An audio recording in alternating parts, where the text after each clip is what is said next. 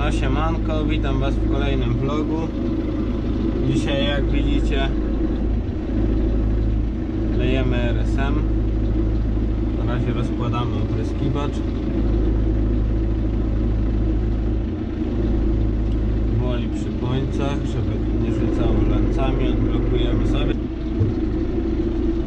I jedziemy powoli. Można powiedzieć, że już kończymy. Właśnie rozlewam ostatni kawałek.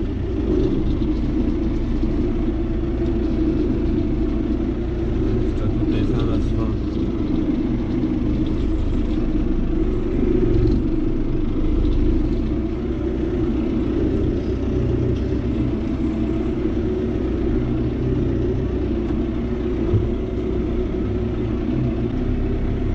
lejemy sobie RSM 28% w dawce 270 litrów na hektar.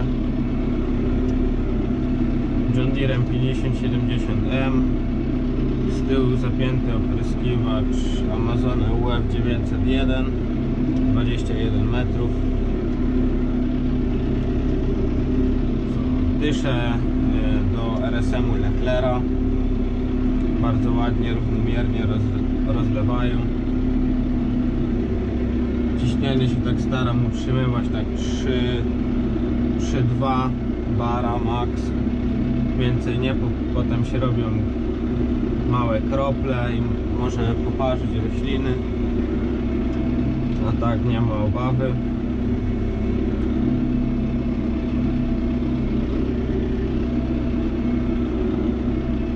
co jeszcze? Tak sobie pomyślałem, że nagram takiego właśnie krótkiego vloga. Miałem to już zrobić szybciej, ale jeździłem na takich samych mniejszych działkach i, bardzo źle mi tam było, bo to trzeba odcofywać tego, patrzeć do kantu. Tutaj też nie jest za duża ta działka, ale, ale zawsze to lepiej niż niż tam.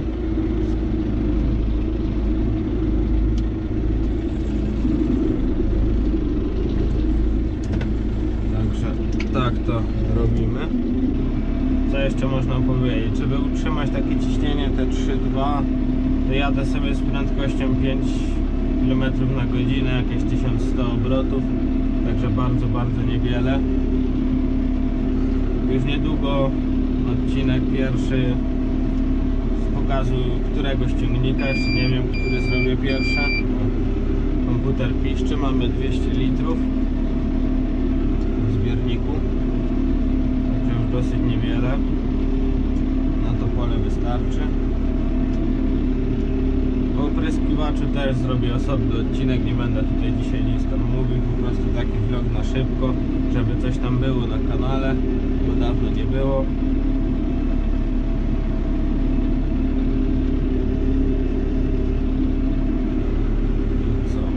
Żeby założyć do John Deere'a tuza z przodu bo jak naleje pełny zbiornik RSM-u to troszkę przód podnosi.